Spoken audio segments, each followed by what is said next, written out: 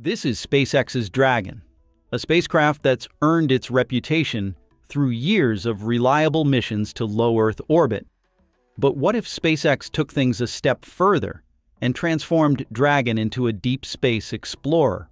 Well, they actually did. Meet Dragon XL, SpaceX's upgraded version of Dragon, designed specifically to resupply NASA's Lunar Gateway space station as part of the Artemis program. Yeah, it's just as awesome as it sounds. A deep space Dragon isn't just a cool engineering feat, it's a smart move.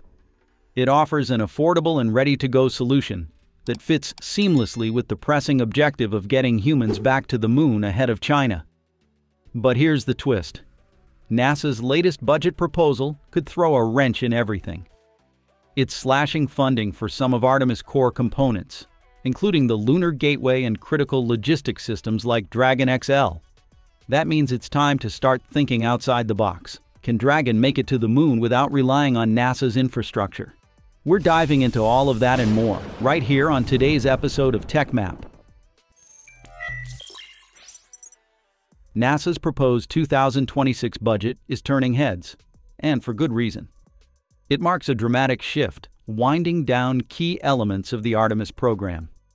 We're talking about retiring the Lunar Gateway Space Station, the Space Launch System rocket, and the Orion crew capsule, all after just two more missions. Given the program's track record of delays and budget overruns, this move might not shock many. But it does come with some disappointment, especially for fans of SpaceX, because it effectively cancels one of their most.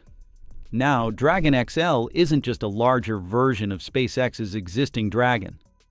It's a dedicated cargo vehicle built specifically for deep space, intended to revolutionize how we deliver supplies beyond Earth. Under NASA's Gateway Logistics Services contract, Dragon XL, launched atop the powerful Falcon Heavy, was set to begin lunar deliveries sometime between 2025 and Artemis 4's crewed mission in 2028. But if Lunar Gateway is off the table, Dragon XL's future looks bleak. It was designed to dock with a lunar orbiting station, and it's far too big and over-engineered for simpler missions like resupplying the ISS. So, is this the end of SpaceX's Lunar Dragon dreams? Not quite. Enter the Gray Dragon concept, an idea put forward by Dr. Robert Zubrin, president of Pioneer Astronautics. Back in 2020, Zubrin penned a compelling article titled Send the SpaceX Dragon to the Moon. According to him, NASA's SLS isn't strong enough to send Orion all the way to low lunar orbit and still return it safely unlike the Apollo-era missions. That's why NASA envisioned the Gateway, a sort of halfway house in high lunar orbit. The problem? This detour makes the mission far more complex and fuel-hungry, especially for landers trying to get from Gateway to the Moon and back. It's like using a Rube Goldberg machine to do a simple task, and it's both expensive and time-consuming. Zubrin proposes an alternative, why not use SpaceX's existing Crew Dragon capsule instead of Orion? Crew Dragon weighs around 9.5 tons, slightly heavier than Apollo's capsule, but offers much more interior space. It's dramatically lighter than Orion's 26.5 ton bulk and comes at a fraction of the cost. With a few upgrades, like extra oxygen storage for a six day round trip, Crew Dragon could be moon ready. The best part we don't need to wait for the SLS. Falcon Heavy is already operational and more than capable of launching Crew Dragon to the moon and bringing it back. No gateway required. Zubrin envisions a first mission similar to Apollo 8, an uncrewed or crewed lunar flyby to prove the concept. After that, a lunar landing could follow using a separate lander, launched by another Falcon Heavy. Yes, it still requires two rockets, but they're affordable reusable, and already flying, unlike SLS, which costs 10 times more. NASA has already contracted Blue Origin, Dynetics, and SpaceX to develop moon landers. Zubrin argues that SpaceX, the force behind Dragon, has the innovation and drive to make this new approach work. In short, adopting the Gray Dragon plan aligns perfectly with NASA's evolving priorities focusing on commercial partnerships, rather than relying on expensive legacy systems. It's a faster, more efficient path to lunar exploration, and one that could reignite American leadership in space by leveraging private sector innovation. So what do you think? Does the Gray Dragon concept excite you as much as it excites us? Drop a yes in the comments if you're ready for a new era of moon missions. So if the Gray Dragon is built, have you ever wondered how that compares to SpaceX's Dragon XL, which was built specifically for NASA's now shaky Lunar Gateway program. Let's start with the Dragon XL.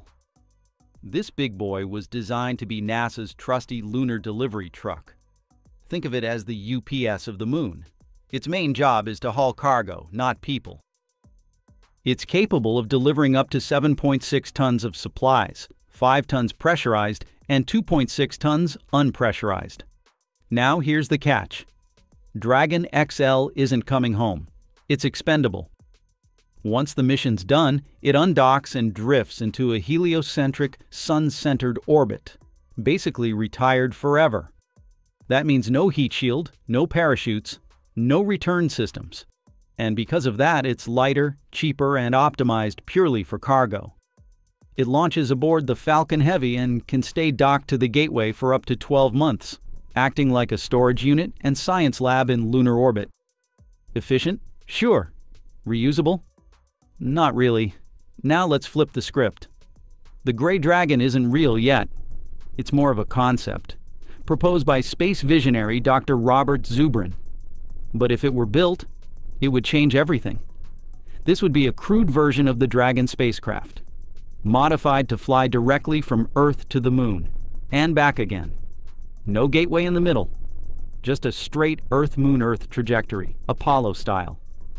Because it's carrying astronauts, it needs to be fully loaded with life support systems, radiation protection, and crew accommodations for a round-trip lunar journey. And unlike the Dragon XL, this spacecraft is designed to survive re-entry, so it keeps the classic heat shield, parachutes, and all the tech that brings your astronauts safely back to Earth. Yeah, it's heavier and more complex, but it also opens the door to independent lunar missions, with or without NASA. The Gray Dragon could team up with a separate lunar lander, launched on another Falcon Heavy, allowing astronauts to orbit the moon and then touch down using a commercial lander. No need for the costly and delayed SLS rocket. No need for gateway. Although the concept of the Gray Dragon is still just a proposal, NASA has developed a detailed backup plan without the Lunar Gateway. This plan blends the agency's flight-proven hardware, like the Orion spacecraft and the powerful SLS rocket, with next-generation, cost-efficient technology, such as SpaceX's Starship. The mission begins at Launch Pad 39B at NASA's Kennedy Space Center in Florida, scheduled in mid-2027, where four highly trained astronauts drawn from one of the most diverse astronaut corps in history, will lift off aboard the SLS. Their 30-day journey will kick off with a ride into Earth orbit. There, they'll carry out system checks and adjust Orion's solar panels. Following that, the SLS's interim cryogenic propulsion stage will provide the critical boost needed for a translunar injection, launching them on a path to the Moon. Over the next few days, the crew will make minor engine corrections to align with the Moon's gravitational pull. At the perfect moment, Orion will execute two engine burns to enter a specialized lunar orbit known as the Near Rectilinear Halo Orbit, NRHO. This orbit was selected from hundreds of candidates because of its long-term benefits. It provides continuous communication with Earth, access to diverse lunar landing sites, and fuel efficiency thanks to its gravitational balance between Earth and the Moon. NRHO was originally intended to host the Gateway Lunar Station, a future hub for Artemis missions. Meanwhile, SpaceX's Starship human landing system will be fully prepped for its lunar debut. Its job rendezvous with Orion in lunar orbit, ferry astronauts down to the moon, and return them afterward. Before the crew even launches, SpaceX will send a propellant depot into Earth orbit. Reusable tankers will then make several trips to fill it up. After that, an uncrewed starship will launch, link up with the depot, fuel up, and perform its own translunar injection burn. It'll cruise for about six days to reach NRHO, where it'll wait for the astronauts. Once both Orion and Starship arrive in NRHO, they'll dock to prepare for the first moon landing of the 21st century. Two astronauts will transfer to Starship, while the other two stay aboard Orion.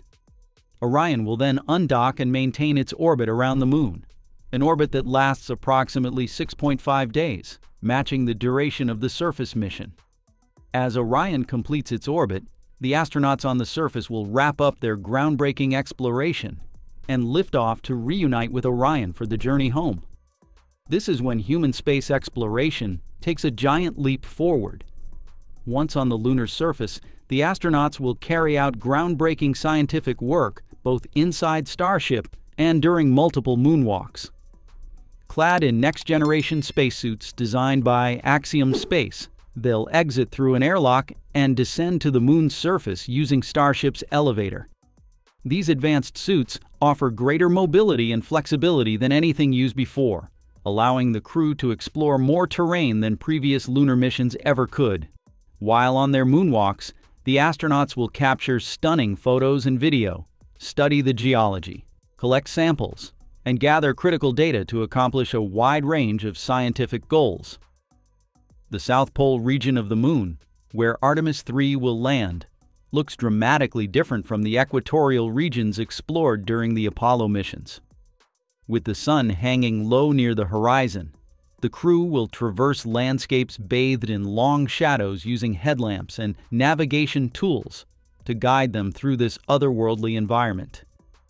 The discoveries they make here will deepen our understanding of the Moon's south pole, its history, and even broader questions about our solar system. Back on Earth, Mission Control will stay in constant contact with the astronauts, receiving updates on what they're seeing, hearing, and experiencing in real time. Thanks to cutting-edge communication systems, high-quality images and video will stream back to Earth, allowing people everywhere to witness this historic mission as it unfolds. After approximately 6.5 days on the Moon, the astronauts will launch from the surface aboard the Starship Human Landing System to rendezvous with Orion in lunar orbit. Once docked, the team will spend up to five more days in space, transferring precious lunar samples and preparing for the journey home. When the time is right and all four crew members are safely aboard Orion, They'll fire its engines to slingshot around the Moon and begin their return to Earth. During re-entry, Orion will blaze through Earth's atmosphere at speeds nearing 24,855 miles, about 40,000 kilometers, per hour. Its descent will be slowed by 11 parachutes before finally splashing down in the Pacific Ocean. Recovery teams from the U.S. Coast Guard and U.S. Navy will be ready and waiting to safely bring the crew and their spacecraft back home.